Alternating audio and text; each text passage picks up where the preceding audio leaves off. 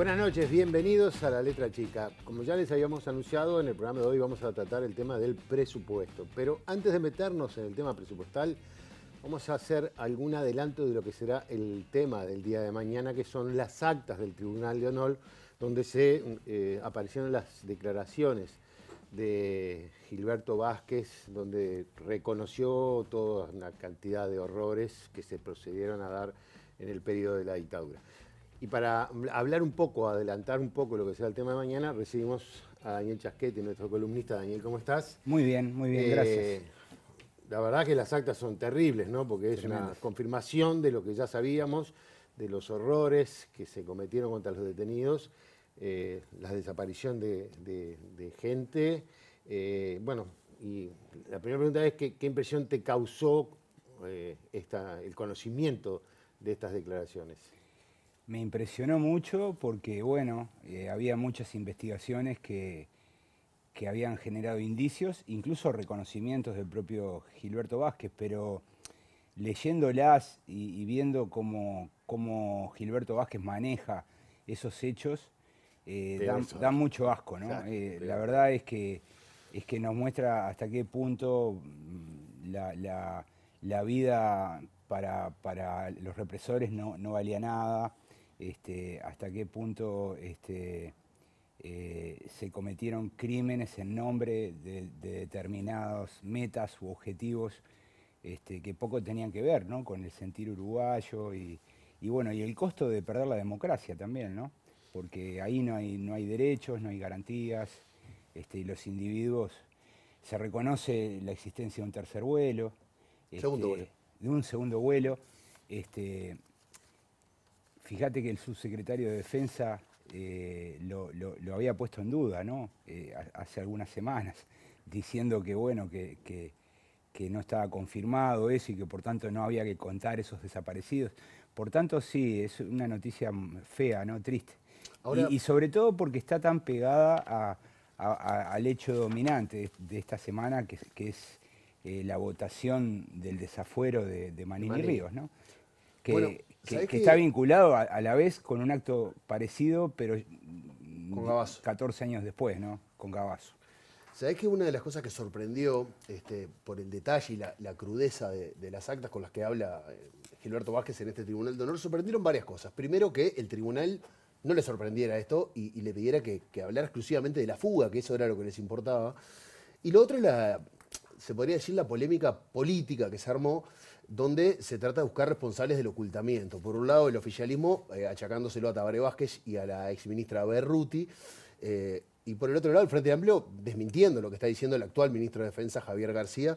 Eh, ¿Cómo se percibe en el ambiente político toda este, este, esta crispación que se está dando de un tema que estaba fuera de agenda, digamos? Claro, porque la aparición del hecho admite dos lecturas. Este, una lectura es, bueno, en verdad ustedes son cómplices, este, también ocultaron, es un poco lo que, lo que trata de decir eh, los partidos de gobierno, sobre todo el Partido Nacional y algunos jerarcas, este, y del otro lado, este, del Frente Amplio se defienden diciendo que, bueno, que en realidad esas actas pasaron inadvertidas porque estaban referidas únicamente al escape de, Gilberto Vázquez de la, de la cárcel. Es decir, es un tema que se, digamos, una interpretación que se partidiza, ¿no? Hay, hay dos, eh, dos, interpretaciones en pugna este, y eso lo podemos presenciar en las redes y, en todos los informativos. ¿Y no invisibiliza eso un poco lo que dicen las actas? Sí, sí, sí, pasa como un segundo plano, porque en realidad se están buscando las responsabilidades. Hoy fue el tema del día, todo el mundo está hablando de ver con cuál relato se quedaba de si Vázquez omitió o sabía o escondió. Yo escuché la radio temprano y, escuché un reportaje a Javier García y luego un reportaje a Bayardi y como que las dos interpretaciones este, eh, están encontradas, ¿no? Eh, lo cierto es que, bueno, eh, probablemente alguna de las dos sea la verdadera.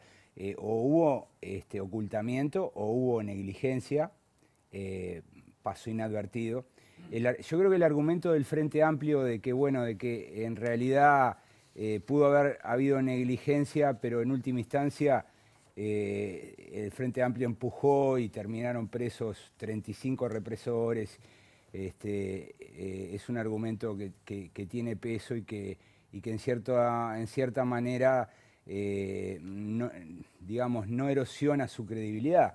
Porque no es lo mismo si no hubiese metido a, ningún militar preso, si no hubiese encontrado ningún resto de desaparecidos, que si lo, si lo hubiese hecho, y, en verdad lo hizo. Entonces, en verdad, acá lo que, lo que está en juego, me parece a mí, es este, el compromiso o la voluntad política que el Frente Amplio puso con el tema. Eh, visto así a la distancia, parece como que, bueno, como que no, esa voluntad política que se requería para investigar este, a fondo, estuvo 15 años al frente del Ministerio de Defensa, este, al frente de, las Fuerzas Armadas, este, viendo estos hechos a uno le queda la sensación de que, bueno, de que se podría haber hecho un poco más, ¿no? ¿Crees que eh, estamos en un terreno que pueden haber operaciones políticas jugando? Pueden haber, pero por eso hay que demostrarlas. Este, si no son meras e, especulaciones. Este, a mí me gusta mucho especular. Yo puse un tweet esta semana que tuvo muchos likes, pero es una mera especulación. Yo no puedo demostrar que es una operación política. En todo caso habría que demostrarlo. Lo cierto es que el timing calza justo, calza perfecto, porque en realidad eh, este tema, que es, un tema en sí, viene a contaminar el, otro tema, ¿no? que es la votación del desafuero de, del general Manín Ríos. Entonces eh, eh, las cosas se mezclan. Ahora, no es lo mismo votar el desafuero este, en, blanco sin esta información que con esta, ¿no? Eh, y sobre todo cuando hay dos interpretaciones en pugna. Si todos ocultaron o si todos hicieron poco por los derechos humanos, bueno, capaz que votarlo o no votarlo no hace la diferencia. en cambio, si hay un partido que está más comprometido y que hizo todo lo que tenía que hacer, este, eh, como que tiene, podría tener una estatura moral para, para obligar a los otros a, plegarse y votar el desafuero. Entonces me parece que ese es un poco eh, los contenidos del debate público. Ahora, hay, por lo que uno ve de afuera, termina siendo palabra contra palabra, o sea, todavía no, no aparecieron argumentos que clarifiquen mucho, y básicamente a la ciudadanía lo que le queda es quedarse con la que lamentablemente confirme sus prejuicios, porque hasta ahora no hay una verdad absoluta sobre este tema en particular. Sobre los hechos del 2006 hay que, hay que terminar de armar el puzzle, hay que haber, eh, ustedes saben que el, funcionamiento de los tribunales de honor eh, de las Fuerzas Armadas es, un, funcionamiento que se rige por procedimientos, por protocolos, este, y ahí actúan no solamente los eh, tres generales, sino también luego las jerarquías, ¿no? Eso se transforma en expedientes, las declaraciones y circula por el ministerio. Ahí pasa por ciertos abogados, eh, también está el comandante en jefe del ejército que, también homologa. Eh, se, necesita saber, bueno, cuál fue su actuación. Con esto quiero decir que entre el tribunal y el ministro hay, hay, hay, todo un recorrido que, que hay que investigarlo y hay que chequear qué pasó, eh, si ahí hubo algún tipo de obstáculo, eh, si, o, si en verdad, en realidad, eh, esos funcionarios hicieron lo que tenían que hacer. ¿no? Y a esos tres generales que tomaron el Tribunal de Honor, ¿no les corresponde, ellos escucharon lo que dijo Gilberto Vázquez, a ellos la justicia civil no tendría nada que ver con ellos? Ellos fueron los primeros que escucharon de boca de Gilberto Vázquez todo esto que, dijo. Sí, ellos, cuando uno lee las actas, se, se, puede ver que están muy enfocados en, el escape. En el escape. ¿Mm? Sí, bueno, pero el tipo este diciéndole que, todo lo que había hecho, o sea, escucharon el crimen de boca de Gilberto Vázquez, o sea, ¿no les cabe nada a esos tres generales tampoco? No sabría decirte, eso lo debería evaluar un fiscal. Mañana hablaremos con Percival, entonces. sí, mañana vamos a tener a Ricardo Percival, el ex ministro de Defensa José Vallardi, y a la coordinadora del equipo de investigación histórica Fabiana Larrobla para hablar de este tema, así que bueno, lo abordaremos en el día de mañana, si les parece bien. Claro que sí. Nos metemos en el tema de hoy, eh, el presupuesto. La ley más importante, sin, duda, que tiene un gobierno porque marca la política que llevará adelante en el periodo de gobierno. Y además condiciona las partidas eh, y los gastos que el gobierno podrá hacer a lo largo de los cinco años. Lo que está claro es que esta ley de alguna manera va a marcar el rumbo que el Poder Ejecutivo determinó que va a seguir, este, qué cosas van a estar contempladas, cuáles no, cuáles van a ser las prioridades, cuáles van a ser eventualmente también los olvidos. Y los ajustes que puedan surgir este, van a ser menores frente a esta marca de mandato que eh, ingresó hace apenas pocas horas al Parlamento, al Parlamento de la mano de la ministra de Economía, Susana Arbeleche. El gobierno fue claro, ¿eh? Eh, el gasto es lo que es y no es más. Lo que sí es posible la reasignación de recursos, lo que básicamente va a generar que se le destapen los pies a algunos y se tape mejor a otros. Ahora, la pregunta es cuáles van a ser las prioridades del gobierno en cuanto al gasto y a la inversión.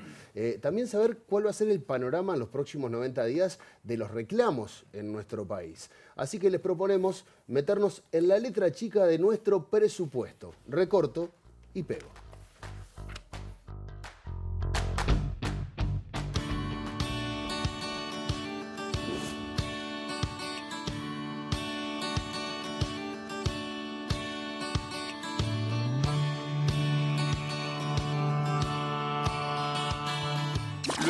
Reunirse durante varias horas con ministros, subsecretarios y legisladores de la coalición de gobierno en la residencia de Suárez, el presidente Luis Lacalle Pou anunció los lineamientos del proyecto de presupuesto quinquenal que se enviará al Parlamento a fin de mes. El objetivo de los legisladores es votar el presupuesto en la Cámara de Diputados entre el 12 y el 16 de octubre al límite de los 45 días de plazo constitucional. Para ello, comenzaron a diseñar una estrategia similar a la implementada con la Ley de Urgente Consideración. Este presupuesto es un presupuesto austero. Es un presupuesto de ahorro. Vamos a cumplir con el compromiso electoral que obviamente se retrasó por el COVID de tener un ahorro en el entorno de los 900 millones de dólares o más. El gobierno está recortando por todos lados. Este presupuesto claramente trae rebaja de salarios públicos, rebaja acompasando lo que es también la rebaja de los salarios privados según las pautas, recortes generalizados en, casi todos los rubros. Este es un presupuesto que no va a ayudar en nada a la necesaria reactivación económica que es fundamental para, para la cuando la pandemia se estabilice o empiece a desaparecer. Sí nos preocupa la política que se viene insinuando, no solo en lo que se anunció de cómo puede venir el proyecto de presupuesto, sino ya desde decretos del mes de marzo que están anunciando recortes, retracción importante y retiro del Estado. Este presupuesto prevé atender las realidades del funcionamiento del Estado con algo que entendemos esencial, que es no entorpecer el motor de la economía para que el sector privado genere empleo. Todavía tenemos esperanza de más presupuesto para la educación y de más presupuesto para vivienda. El turismo también nos importa. Vamos a apoyar el presupuesto en, la medida que lo entendamos este, conveniente para el país. Tener como un objetivo que no haya un crecimiento real del gasto público. Es un presupuesto razonable dentro de las posibilidades del país. Quien empezó a cuestionar el presupuesto de la Universidad de la República fue el gobierno. Entonces, la verdad es que no sé qué vendrá en la ley de presupuesto sobre la Universidad de la República, pero hasta ahora las señales que dieron es que no es prioridad. Y lo mismo con la NEP, en donde se plantea por ahora un aumento solo del 3%. En un comunicado, el sindicato docente señala, por primera vez en 15 años, se nos ofrece rebaja salarial, cercenamiento de derechos, recorte de programas educativos y en los comedores y anuncios de políticas educativas sin participación de magisterio. Los primeros anuncios son preocupantes, pero son anuncios de recorte. Solo para decir uno claro es que a los maestras, a los profesores, a las funcionarias auxiliares de escuelas de comedores o de limpieza, de primaria, de secundaria, de adulto, le bajan el salario 5% y mantienen esa quita salarial durante todo el periodo de gobierno. Pero esto es un recorte salvaje. ¿A qué obedece? A que desde la autoridad del Ministerio de Educación, Pablo de Silveira y demás, están tendiendo a favorecer la privatización de la educación pública. Y nosotros la defendemos a muerte. La prioridad del presupuesto está claro, ¿no? Va a haber menos educación pública, más represión.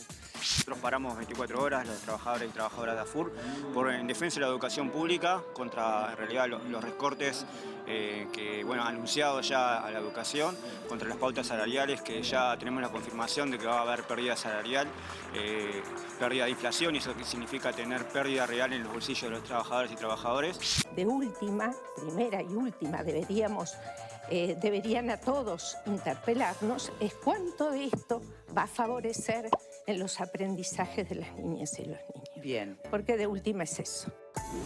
La pauta salarial, en definitiva, no cumple con lo que se había comprometido el Poder Ejecutivo. En este momento, con estos nuevos presupuestos, con estos nuevos instructivos presupuestales, se va a agravar la situación. Tenemos que mirar el escenario de ajuste de una manera distinta a lo que miramos en diciembre del año pasado. Si alguien dice mi prioridad absoluta es el de ajuste fiscal porque lo tengo que ejecutar todo lo que pueda en el año 2021, el riesgo que hay en una economía que va a contraerse de manera significativa es inducir una recesión adicional o inducir un efecto recesivo adicional, lo cual puede conspirar de dos puntos de vista. Primero, el punto de vista social, generando tensión social este, excesiva, pero a su vez también a, un problema de recaudación, de tal manera que se convierta esto en un círculo vicioso. Aunque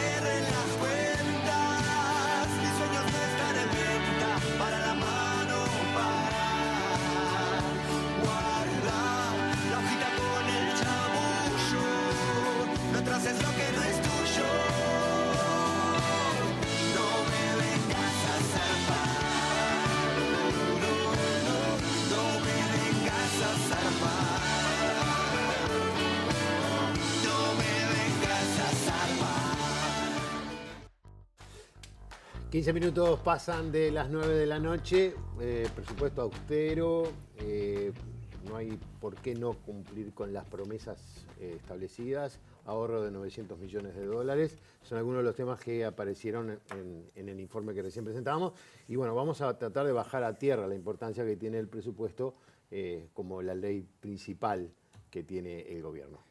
Seguimos con Daniel Chaschetti. Sí, claro.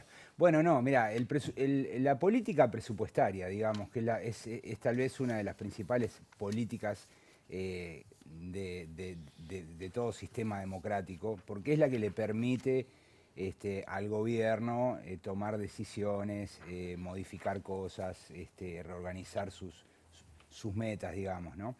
Este, en Uruguay tenemos un sistema de reglas muy específico, escrito en la Constitución del 67. Habrá un, presupuesto quinquenal, pero luego tenemos eh, cinco rendiciones de cuentas, de las cuales cuatro pueden modificar eh, los montos establecidos por el primero, ¿no? por el primer presupuesto. Por tanto, acá lo que hay que saber es que las reglas son abiertas. Lo que se apruebe eh, este año, si la economía cambia, pongamos mejora, puede ser modificado. ¿no? Eso es lo primero. Lo, segundo es que el presupuesto es un, presupuesto general de gastos este, que, que incluyen salarios, jubilaciones, inversiones, eh, y por tanto es rígido. Es rígido porque, bueno, porque en realidad hay un compromiso de pagar las jubilaciones, de pagar las pensiones, de pagar los salarios. Y por tanto no se puede, no, no hay tanto margen ma- pa- para modificar. ¿Cómo se puede modificar eh, sustantivamente? Bueno, haciendo innovaciones institucionales. Por ejemplo, puedo cerrar oficinas, puedo, pero igual las economías que se pueden hacer, eh, digamos que son relativamente este, limitadas, ¿no? Eh, en- Se abrió un ministerio nuevo. Sí, pero en realidad, bueno, está integrado ya con dependencias que tenían su propia base presupuestal. O sea, eh, el ministerio no, no supone... figura, digamos. es un- eh, eh, es eso es un, un típico rediseño institucional. Ahora, eh, lo, lo- lo que tenemos que saber es que históricamente los presupuestos en Uruguay no solamente han sido, se utilizan para, para, bueno, para, para presentar cómo van a ser los gastos para los cinco años, sino que también se introducen reformas institucionales. Yo no tengo información de que este presupuesto la tenga, pero hay que recordar que, por ejemplo, la reforma de la educación de Sanguinetti fue aprobada en un presupuesto, ¿no? La reforma de la DGI, este, hay, hay- muchas reformas que fueron introducidas a través de presupuestos. Ese es otro elemento eh, sustantivo. Este, cuando uno analiza cómo, cómo funciona la, eh, digamos, el diseño y la aprobación de los presupuestos, lo que sabemos es que la autoridad eh, económica eh, le entrega a la OPP, que es la, oficina encargada del diseño del presupuesto, eh, las metas fiscales del gobierno. Y, la OPP se lo comunica a los ministerios y a, los, entes autónomos y a los consejos descentralizados. Luego ellos le devuelven eh, eh, sus aspiraciones y ahí em- eh, comienza un proceso de negociación. Esto fue lo que estuvimos viendo en las últimas tres, cuatro semanas, donde los ministros trataban de ajustar, inclusive hubo algunas reuniones muy importantes donde, bueno, finalmente, este, no todos quedaron conformes, pero bueno, tú decías, es una frazada corta. Este, lo que viene ahora es la etapa de aprobación. ¿no? Entonces, hoy eh, el, el Ministerio de Economía le llevó al Parlamento ese, ese- ese volumen bien grande, es, es- es como un acto institucional, se podría mandar por mail en forma digital, se mandó por mail, pero tradicionalmente se hace esa ceremonia. ¿Por qué? Bueno, porque el primero de septiembre el presupuesto tiene que estar, seis meses después que asumió el presidente, el presupuesto tiene que estar en el Parlamento para que se, se comience a discutir. ¿Cómo se discute? Bueno, eh, al igual que las- los proyectos de urgente consideración, acá hay plazos. ¿m? 45 días para cada Cámara, 30 días eh, mm, eh, para la primera Cámara si la segunda hace modificaciones y 30 días más para la Asamblea General si la primera Cámara no acepta los cambios. Es decir, como máximo, eh, la- las reglas de juego lo que nos muestran es que en, en- en- en- en- en un máximo de, de 150 días tiene que estar aprobado el presupuesto. Si no se aprueba, Queda el anterior. queda el anterior. Esa es, la- es una de las diferencias con los proyectos de urgente consideración, que si no se aprueba, el proyecto queda como lo envió el Poder Ejecutivo. Acá el que pierde es el Poder Ejecutivo. ¿Y cómo adelantás vos, Daniel, que vaya a ser esta discusión parlamentaria teniendo en cuenta el panorama, que está el Frente Amplio muy consolidado ahora en la, en la oposición y unos sindicatos bastante, me- metiendo, digamos, bastante presión porque está la baja del salario real que van a tener, el- ni que hablar la cuestión del desempleo? Mira, este, este presupuesto, para mi gusto, tiene dos restricciones grandes. Una es la- la- las promesas de campaña que hizo el, el- el presidente de la República. Eh, se veía en el tape. 900 millones de dólares era el compromiso de ahorrar.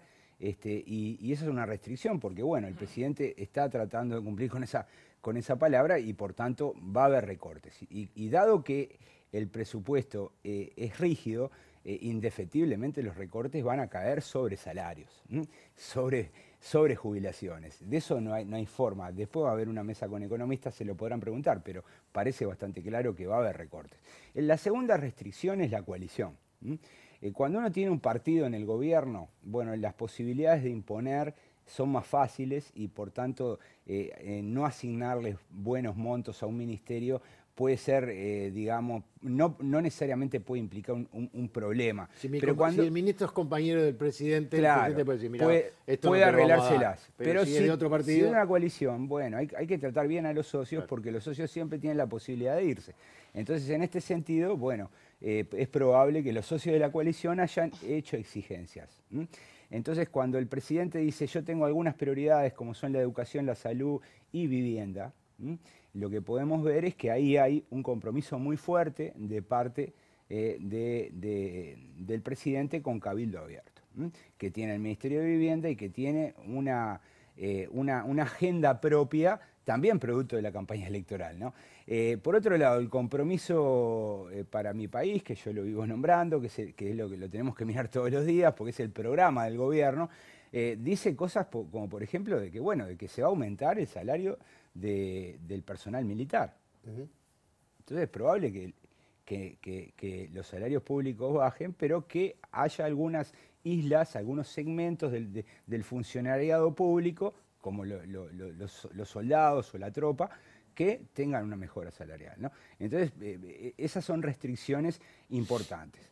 En el Parlamento, ¿qué va a pasar? Bueno, lo va a tratar, eh, lo, eh, lo que siempre se hace, se, se envía el- el- el proyecto a la Cámara de Diputados, se integran dos comisiones, la Comisión de Hacienda con la Comisión de Presupuesto, eh, son veintipico de, de diputados y van a trabajar durante, pongamos, un mes analizando, tratando de abrir ese, ese, proyecto que es muy largo, ¿no? Son como, no, no- no sé exactamente cuántos son, pero suelen ser más de 500 artículos, ¿no? Entonces ahí se abren por inciso, eh, el presupuesto está ordenado, eh, eh, cada inciso es un ministerio, y bueno, y ahí hay que compararlo con lo que tenía, cuánto se le quita, y mirar, bueno, otras variables, ¿no? De tipo económico que van a impactar sobre el- el- el gasto presupuestado va a haber mucha presión, porque si se, va, si se, si se está diciendo que se va a bajar salarios, bueno, lo, lo más probable es que haya sindicatos en la calle, que haya movilización callejera. Eso eh, tenemos que, que- que- que saberlo, ¿no? Vamos a volver, en cierto modo, digamos, a la etapa donde eh, los presupuestos eran austeros, ¿no? Antes del 2005 este, solían serlo. ¿no? Luego eh, el gobierno del Frente Amplio, aprovechando una etapa de crecimiento, bueno, eh, no generó recortes y por tanto la, movilización social eh, descendió, cayó mucho, ¿no? Pero para este presupuesto sí vamos a ver mucha movilización en la calle. De eso te quería preguntar, de alguna manera, en, materia política, económica y social, ¿puede haber algún para- paralelismo con los gobiernos de la calle Herrera y de Valle? Por ejemplo, ¿cuánto de Estado y cuánto de mercado va a haber para este 2020? Yo el paralelismo lo, lo encuentro en el hecho de que el gobierno de la calle, también el, gobierno de el segundo gobierno de Sanguinetti y también el gobierno de Valle se vieron obligados a- al comienzo de- del periodo a hacer un ajuste, ¿no? A la baja. Bueno, lo que pare- te lo pueden explicar mejor los economistas, pero, pero, pero yo lo voy a tratar. te- Es muy simple. Eh, si vos tenés que ajustar las cuentas, eh, una posibilidad es tratar de recaudar más. Por ejemplo, pongo impuestos. Otra posibilidad es tratar de gastar menos. Eh, de los dos caminos, lo que está haciendo el gobierno es ir por el camino de gastar menos. La calle Padre, por ejemplo, en su ajuste fiscal, que fue la primera ley que aprobó el Parlamento en 1990, creó impuestos. Se creó, por ejemplo, el famoso IRP. Que era el impuesto a las Las retribuciones retribuciones personales, ¿no? que tanto nos dolía. Este, es el antecesor del IRPF, aunque el IRPF es distinto. ¿no? Pero, pero bueno, eh, yo creo que en realidad, eh, bueno, todo gobierno que, que- que- que comienza su gestión con, con un déficit fiscal alto tiene que ajustar las cuentas y en eso se parece el, el déficit fiscal que tenía la calle Pou, no recuerdo cuánto era, pero era, era alto, y el de Sanguinetti también en el, no- en el 95, y ambos hicieron ajustes, ¿no? Entonces, eh, en en eso se parecen, digamos. Respecto a si hay reformas, y eso yo eh, eh, no tengo claro, creo que las reformas este, eh, se intentaron en la LUC, algunas no salieron, eh, las reformas que implicaban Antel y ANCAP quedaron trancadas. No sé si ha- habrá algún intento de reforma en este presupuesto. Sé que en alguna otra ley hay algún tipo de reforma. Este, e- e- es, bastante claro que las preferencias del presidente so- eh, eh, son más liberales que, que la de algunos socios de la coalición, pero está muy lejos la calle Pou de las preferencias de su padre. ¿no? Eh, la calle Padre realmente intentó hacer una reforma estructural, ¿no? privatizar empresas públicas, este, modificar el estatuto de los funcionarios públicos, este, eh, reformar la seguridad social. Un, un paquete era muy ambicioso. Este, me parece que el de la calle Pou es distinto porque, entre otras cosas, el mundo es distinto eh, y ya se vio que, bueno, algunas de las recetas de los 90 no funcionaron. Este, y, sí, se están moviendo las políticas públicas un poco más eh, hacia un escenario de mercado. Este, los argumentos lo indican. Se está diciendo que vamos a gastar menos para que las empresas privadas trabajen más. Hay que ver si eh, eso funciona, ¿no? Este, algunos economistas dicen que, bueno, que, que este tipo de medidas pueden terminar enfriando más la economía este, y, y- y postergando la reactivación. Pero eso Lo sabremos Espe- con el espera la segunda mesa. Vamos a preguntarle. Vamos a recibir en, en unos minutos nada más a Santiago Soto y a Agustín Iturralde, para ver- economistas, para hablar de este tema. Porque una de las cosas que nos preguntábamos hoy también es eh, que queremos saber por qué no hay que tener déficit fiscal, entre otras cosas, ¿no? Para sacarnos nosotros, por lo menos, que no sabemos nada, las dudas. Pero eso en un minuto nada más, ya volvemos.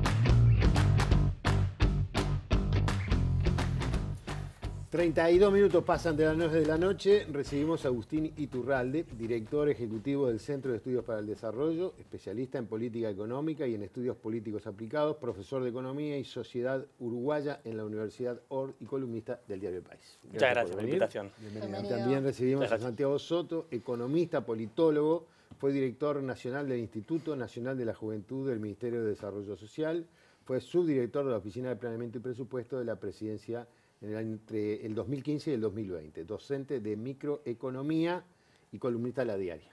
Ambos Bueno, son columnistas. Ambos columnistas eh, en dos diarios distintos. 2017 2020 estuve en OPP. Muy bien, ah, muy bien, gracias por la aclaración. No. Eh, bueno, recién estábamos hablando con Chaschetti, bueno, lo, lo que han sido la- las propuestas de- del presidente, un presupuesto austero, reducción del, del déficit fiscal, ahorro de 900 millones de dólares y algunos otros temas más que están vinculados, algunos ejes concretos, vivienda, salud y educación, si no me equivoco. Eh, bien, la primera pregunta es, bueno, ¿qué visión tiene cada uno de ustedes de estas definiciones, más allá de lo poco que ha trascendido, aunque ya sé que leyeron, por lo menos arrancaron a leer la exposición. En de el motivos. celular, ahí, un minuto Ahí está. Arrancamos por ti, ¿te parece bien? ¿Cómo no, profe? Eh, recién estábamos, recién, recién llegó la- el presupuesto, estuvimos bichando ahora mientras hablaba Chasquetti. Creo que se puede saber poco de- del hilado fino de esto. Sí se puede saber a partir de lo que se viene hablando, de lo que ha dicho la ministra de Economía, de lo que ha dicho el presidente. Creo que acá eh, lo principal que tenemos que ver, me parece, es que na- no puede haber muchas sorpresas en el grueso de lo que viene. A ver, tenemos un gobierno que hizo campaña, eh, ya el presidente de la República desde la interna de su partido, después en octubre y después el compromiso para el país, con lo que llamó primero un shock de austeridad, eh, cuidar la plata de la gente. Fue cambiando el término que se usaba, pero ¿qué era lo que quería expresar esto? Es que hay un problema de las cuentas públicas muy grande.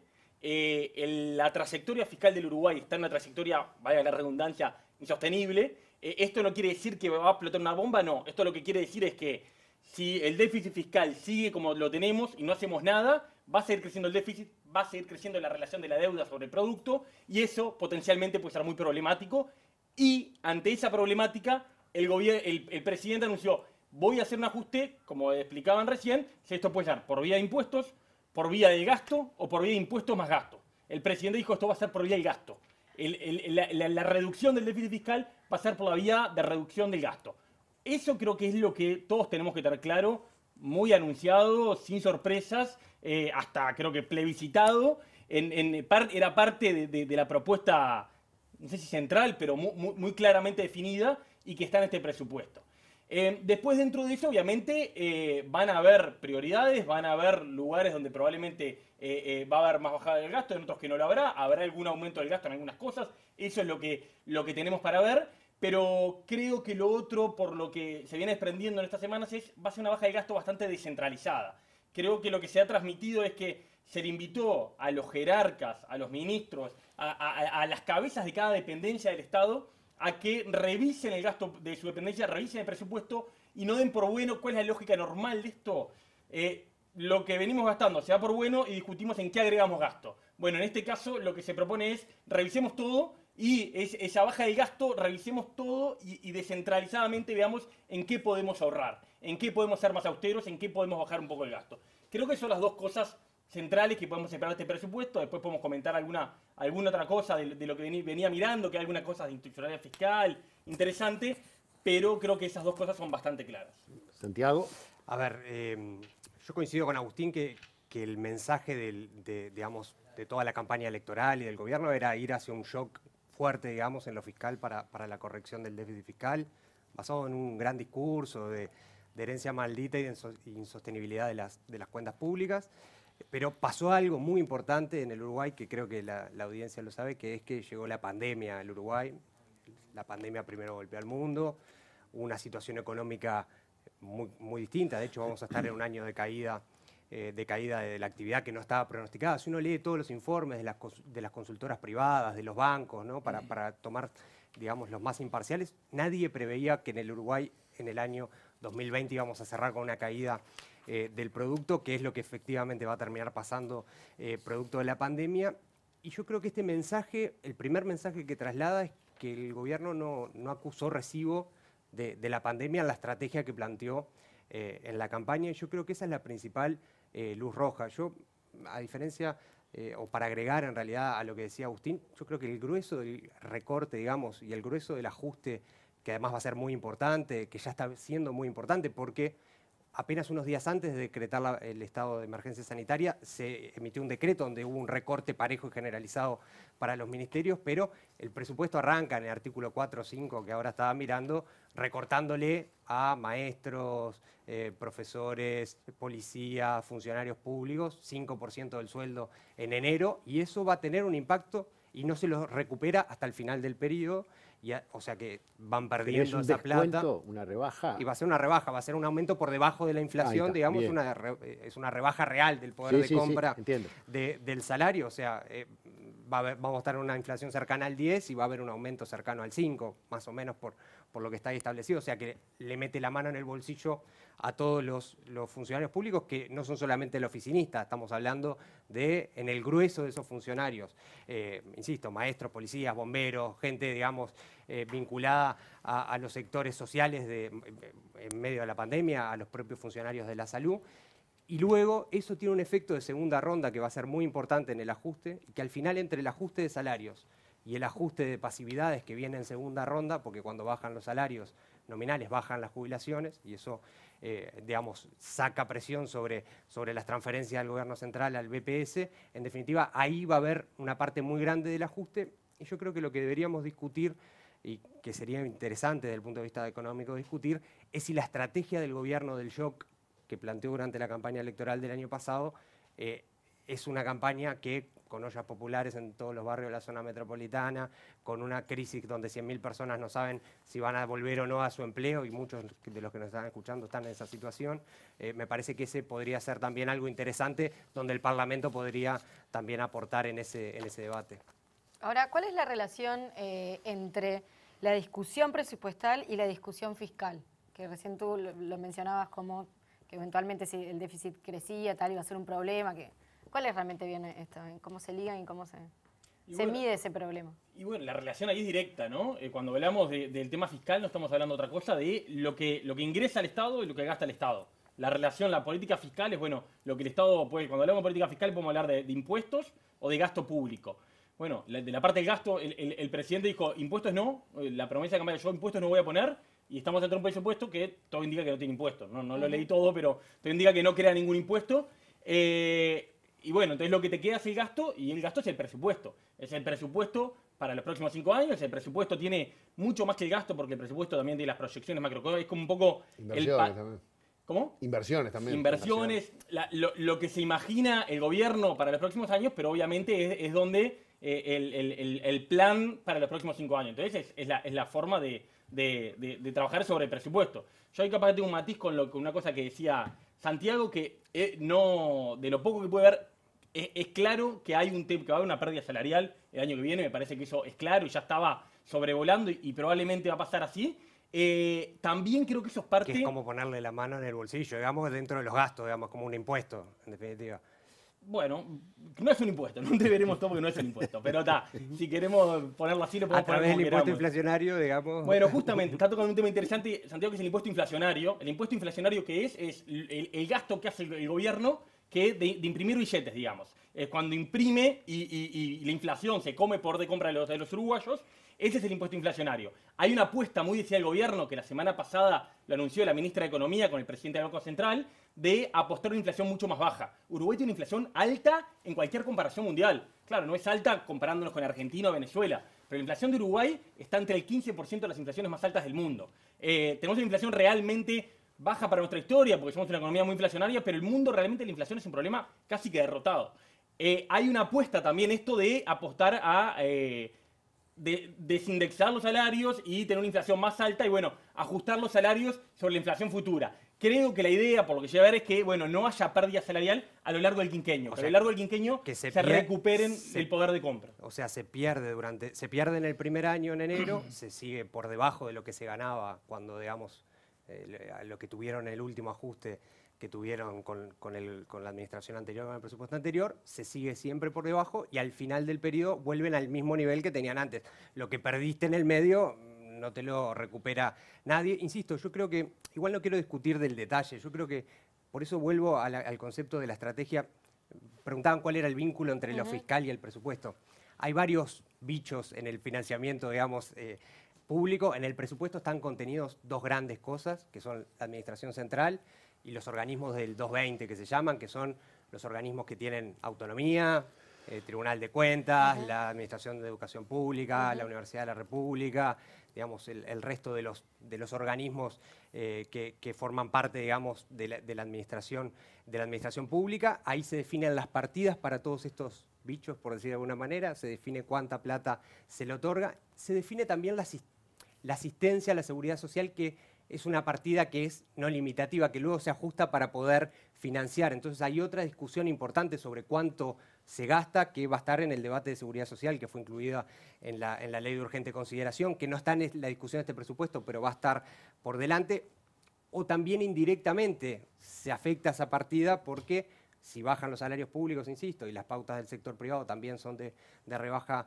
eh, del, salario, del salario en el sector privado, o sea, la combinatoria probablemente esté dando de que los, los jubilados van a tener un ajuste sensiblemente inferior a la jubilación en, en el, año, en el año siguiente, o sea, van a perder eh, poder de compra.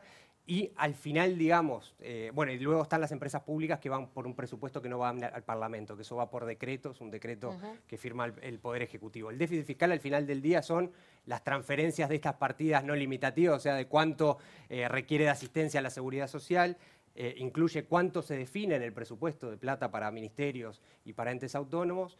Obviamente entra el saldo de caja de las empresas públicas que van presupuesto, en los presupuestos que, que se hacen eh, por decreto, y después otras partidas como por ejemplo los intereses de la deuda, que son un tema que era muy importante.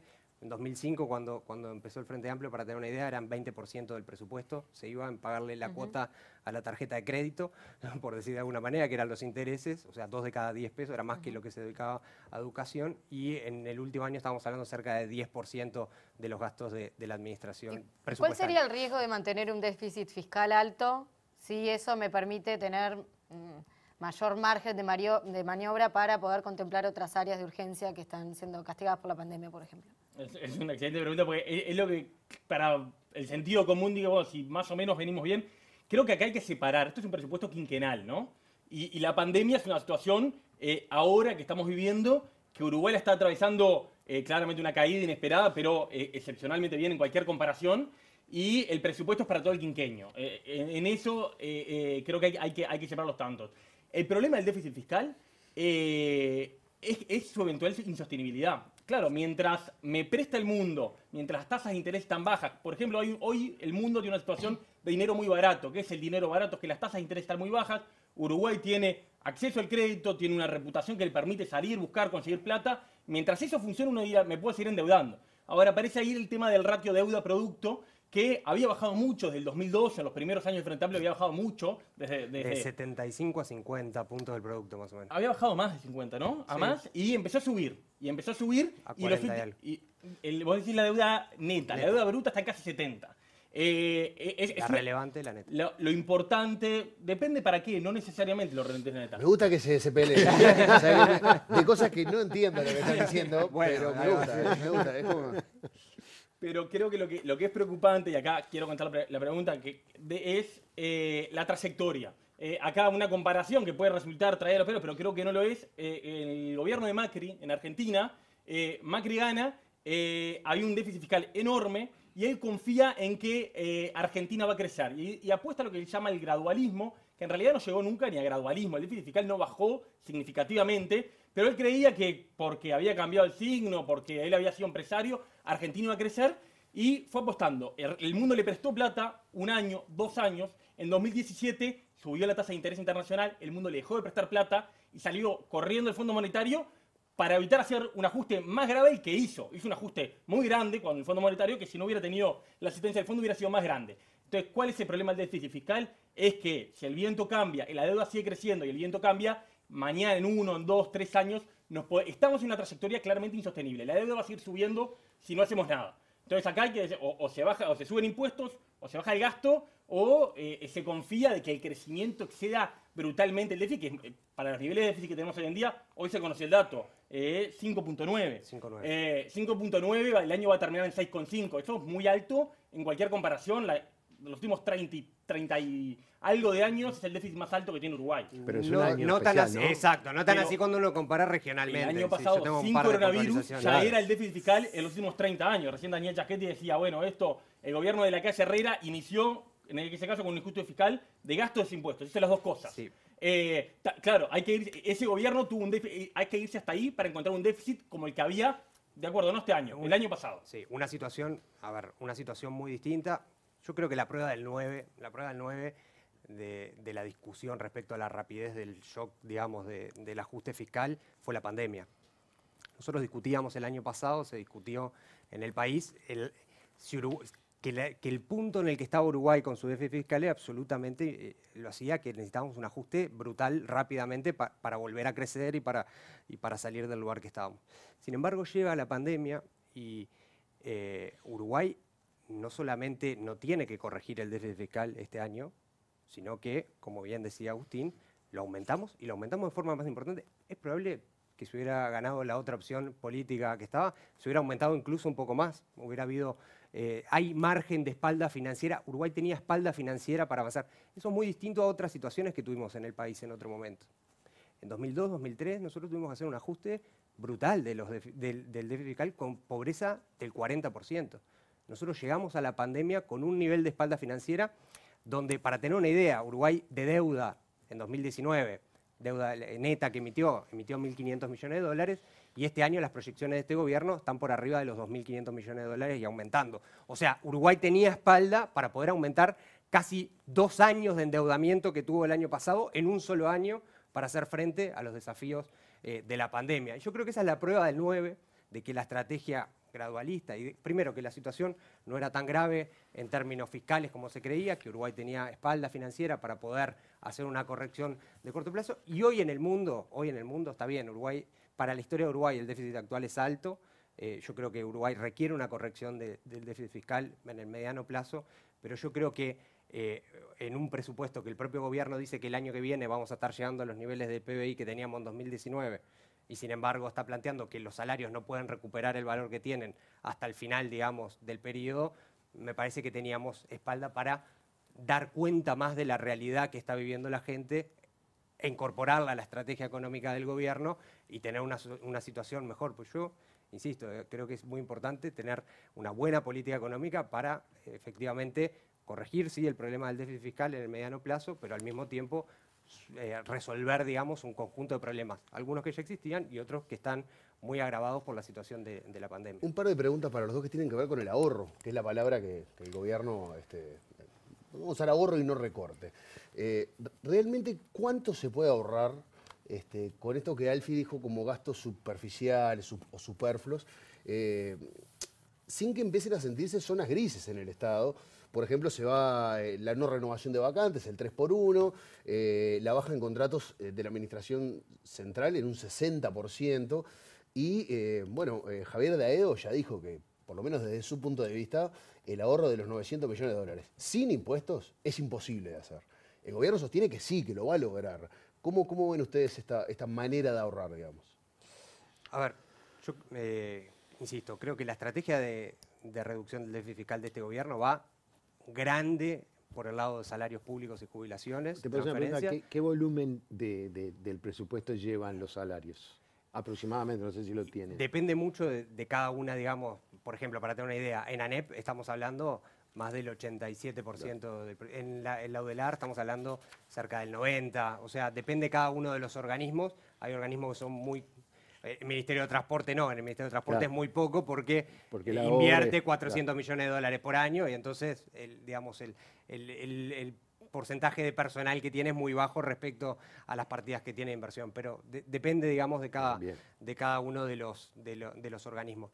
Pero el recorte, yo creo que ese es otro de los corazones importantes de, de- de, creo que una estrategia que Uruguay ya la transitó en su momento y que no es que, ahorrar en un momento o recortar de esa manera que plantea el gobierno no genera eficiencia, sino que genera eh, problemas de eficiencia en el mediano plazo que es el problema de puesta a punto que Uruguay tuvo que hacer a partir de 2005 muchas capacidades. Teníamos generaciones enteras de funcionarios que habían desaparecido, se habían ido los mejores, teníamos problemas, eh, digamos, eh, de funcionamientos muy básicos en muchos de los lugares, muy básicos, que no lográbamos tener una partida mínima de funcionamiento que había quedado, y que eso en definitiva acumulado en el tiempo. Durante, Hablamos por desde ejemplo, horas docentes a cuadrilla de la UTE, a Sí, sí, cualquier eh. cosa que, que involucre personal en el Y Estado. Sí, no solo lo del personal, sino también los recortes de los gastos, porque cuando uno hace un recorte duro y parejo para, para todos, como es el decreto en las partidas de gasto de inversiones, eh, las decisiones que se toman para poder recortar rápido no siempre son las más inteligentes, son las que se pueden hacer más rápido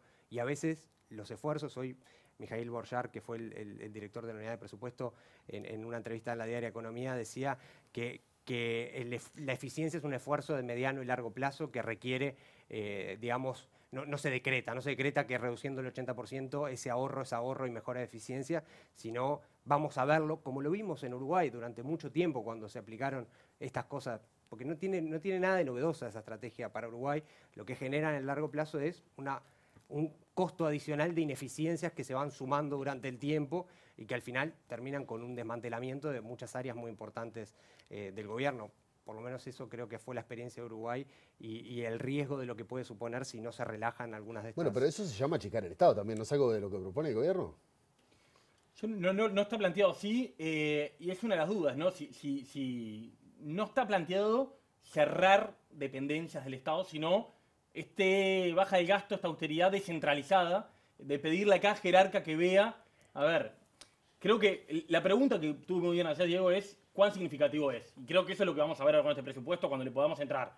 Pero que como vos y yo en mi casa, cuando tenemos eh, un par de años de holgura, donde no, no, no, no hay restricciones, vamos aumentando el gasto y generamos gorduras, como una empresa privada, esto no, creo, no, es, no, no, no, no es solo el Estado, creo que eso es claro. Creo que es claro, cuando uno mira algunas de las notas de prensa que han salido, que había lugares donde claramente eh, el Estado había que golpearle la puerta y decir, muchachos, la sociedad está pasando mal, porque lo que nos olvidamos acá es que eh, esa gente que realmente la está pasando mal, que hoy que es mucha en Uruguay, que realmente la está pasando mal, no son los funcionarios públicos que le van a ajustar 4% por debajo eh, el, el- el salario. La gente que realmente le está pasando mal son los desempleados, que ese ajuste viene hace 5 años, ¿no? En los últimos 5 años es verdad que no hubo ajuste público, pero sí hubo ajuste privado. O sea, 60.000 personas perdieron su trabajo y, y- y en los- desde el 2017 para acá hubo una, una suba muy pequeñita de la pobreza, pero hubo. Y de los ingresos, del ingreso de los hogares, más clara que de la pobreza. Eh, muy, chica, pero muy, significativa. Y, si uno mira el periodo. Muy significativa en, Tiene que elegir el dato más términos, raro. En términos de, claro, no.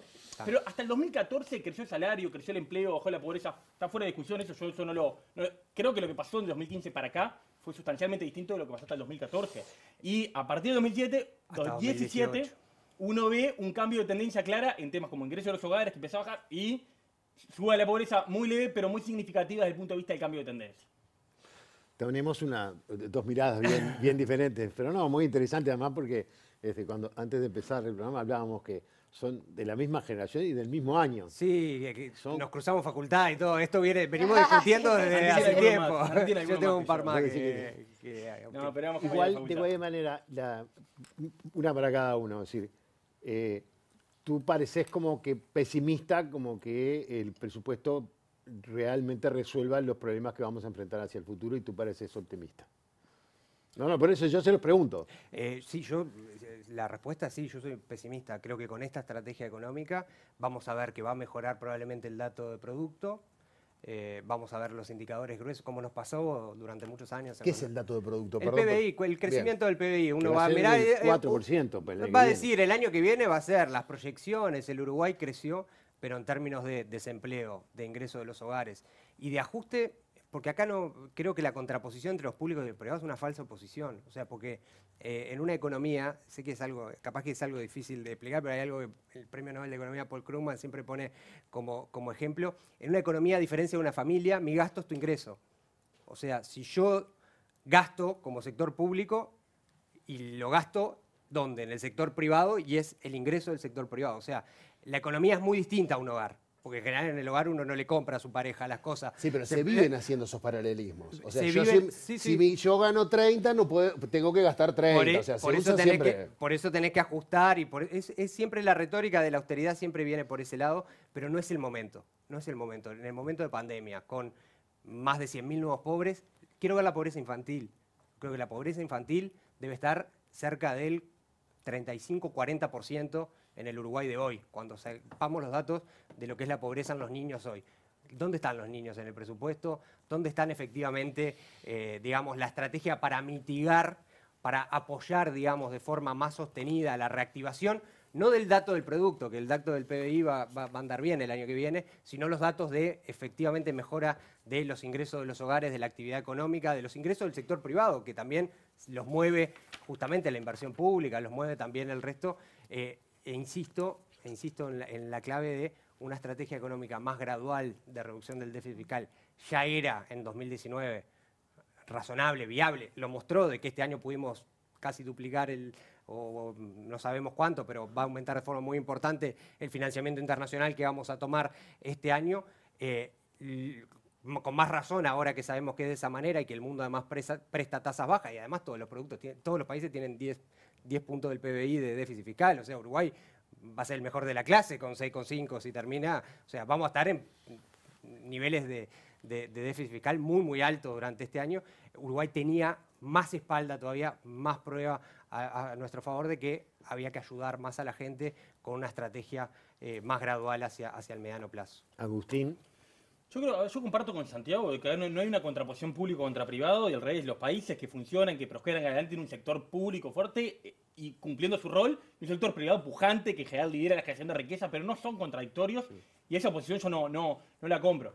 Sí creo que eso que dice el, el, eh, Krugman obviamente tiene límites y si no tuviera límites, eh, Argentina le estaría yendo bárbaro. o Vene- Obviamente el gastar por encima de tus posibilidades es verdad que en, en el corto plazo, acá entra el tema de keynesianismo o teorías más clásicas, sin entrar en eso, en algunos contextos... No es muy puede- keynesiano este ajuste, digamos, en, esta, puede- en esta fase. En algunos co- contextos puede ayudar, pero como regla general eh, es insostenible. Menos keynesiano, tampoco es nada keynesiano en la bonanza económica para poder gastar ahora. Merkel, que ahora se cita cómo aumentó el gasto, bajó impuestos, viene, viene generando superávits, no, no déficit bajo, superávits los últimos siete años. Y ahora, claro, es un despliegue fiscal fantástico después de que hace dos años era la, la asesina de la austeridad y le decían... cambia la Entonces, cuando cosa, hablan de otra políticas discusión. anticíclicas, keynesianas, en general se tienen que hacer las dos fases. Entonces, eh, en los últimos 15 años creo que hubieron las dos cosas, porque hasta mitad del gobierno de Mujica la política fiscal era muy... mu- había aumentado el gasto razonablemente, a mi juicio. Sí. Claramente el, el- el tramo final de la- del gobierno de Mujica y en el segundo gobierno de Tabaré Vázquez, el, frente, eh, el gobierno no le vuelve a encontrar nunca más los puntos al déficit fiscal y no es que había una estrategia de baja del déficit gradual. El déficit fiscal no estaba bajando en este país. Y esta baja de déficit, según lo que está pronosticado acá, no es, es 6,5 el año que viene que vuelva a un nivel parecido al del año pasado y que al final del periodo esté en algo así como 2,5 de déficit. No prevé grandes superávit. O sea, no es eh, eh, eh, que acá se plantea que el año que viene tenemos que tener 3 puntos de superávit, ni mucho menos. A ver. Eh, me tengo que ir. Sí. Cortita, la una frase. No, la seguimos en un café acá. La seguimos en el café, La pero... un café acá la gente, o sea. No, a ver, son claramente visiones. Obviamente este gobierno tiene, tiene, tiene una estrategia planteada para, para la situación. Yo eh, estoy convencido de que le va a hacer más daño eh, a la economía de la gente, del hogar, de las personas, eh, con esta estrategia. Y, y bueno, eh, eh, veremos los resultados y por los frutos los conoceremos también en el futuro. Igual Chaschetti nos dijo que se puede cambiar. Que las rendiciones de cuentas podemos ir cambiando, así que vamos a preguntarle. Ahora vuelve Chaschetti, ¿eh? Santiago, muchísimas gracias por haber venido. eh, Agustín también, a los dos. Fue muy grato gracias. escucharlos debatir y, y, ta, y- y nosotros aprendimos, ¿no? Sí, una linda clase. Llegó a casa dentro de cinco años, dentro de cinco años Gracias los a llamamos a ver quién ganó. Muchas gracias por la invitación. Por Gracias, favor. gracias. Ya seguimos, eh, ya se nos viene Daniel Chasquete para hacer una síntesis de lo que fue esta, esta, este intercambio de opiniones.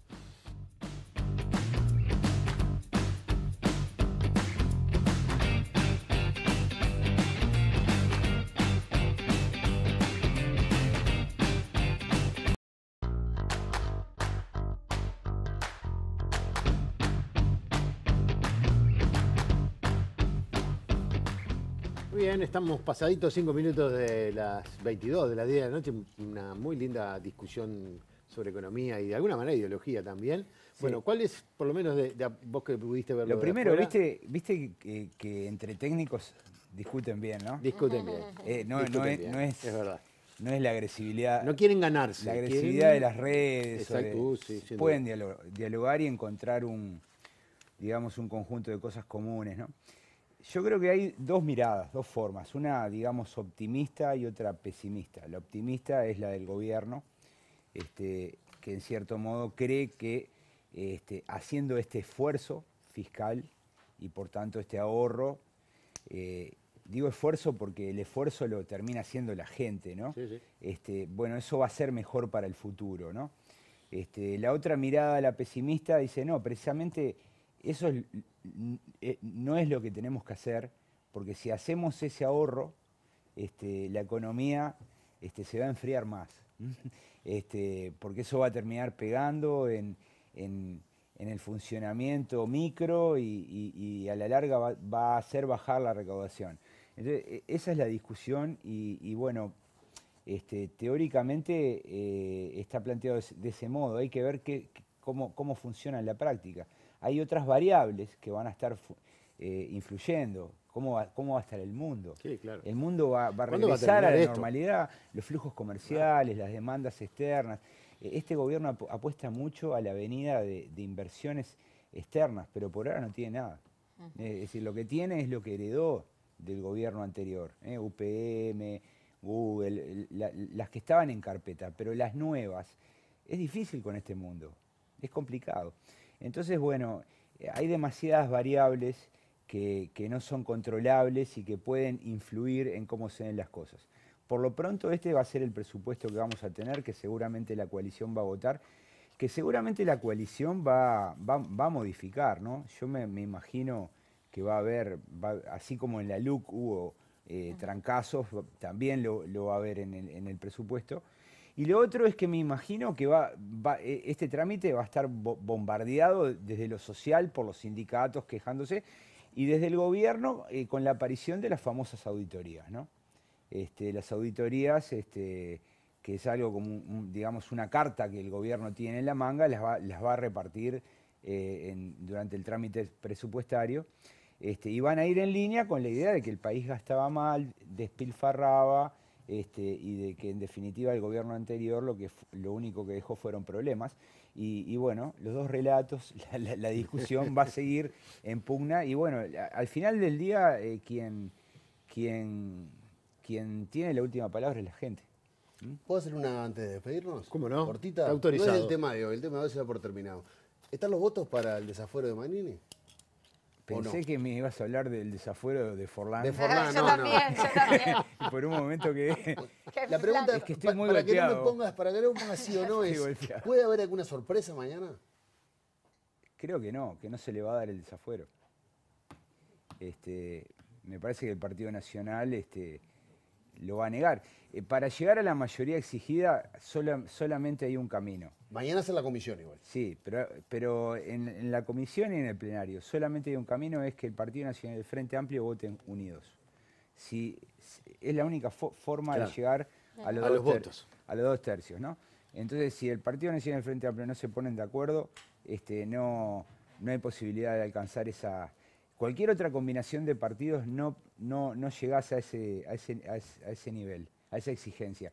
Por tanto, eh, si el Frente Amplio eh, va a votar el desafuero y el Partido Nacional no lo va a votar, este, me da la impresión es que esto no va a salir. Bien. eh, Mañana vamos a estar hablando del tema. Te tiro un último dato, que capaz que es interesante, pues es un dato que no se maneja este, y que lo, lo calculamos ayer. Desde 1985 se tramitaron 24 desafueros en el Parlamento. Solamente tres veces eh, el Fueron Parlamento otorgados. levantó los fueros, eh, que fueron el caso de Signorelli, aquel diputado de Artigas, eh, Esquerra. y Germán Araujo. no, no. Ge- No, Ah, Araujo. Esquerra y el tercero este, es este, el último que fue El Bianchi. que estuvo alcoholizado. El que manejando. a, a Germán Araujo no lo desaforaron. Lo juzgaron sus, Ah, sus es compañeros verdad, es verdad. y lo, lo Lo expulsaron. expulsaron del Parlamento. Que es otro artículo que tienen. eh, eh, acá se levantan las fueros porque la justicia lo pide. ¿m? Este, y, igual Germán Araujo tuvo un pedido de desafuero y el Parlamento no lo concedió. se dio. Eh, sino lo que hizo el Parlamento fue, luego de la ley de caducidad, juzgarlo y, y- y- y expulsarlo. ¿no? Muy bien, mañana entonces estaremos nuevamente con los temas vinculados a las actas, ¿verdad? las actas de- A estas actas y a estos hechos horribles de los que nos hemos enterado el jueves pasado. Así que bueno, nos vemos mañana. Será hasta mañana, entonces. Muy buenas noches.